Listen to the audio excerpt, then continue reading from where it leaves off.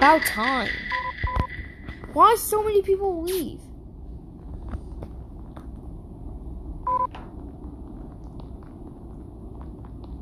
Dude.